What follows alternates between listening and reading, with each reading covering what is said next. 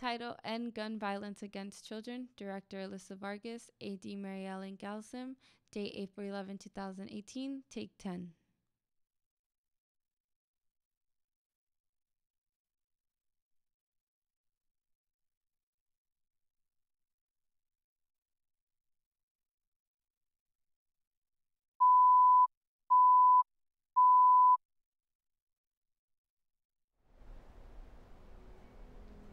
My name is Madison. I am 12 years old. I like to read and play piano.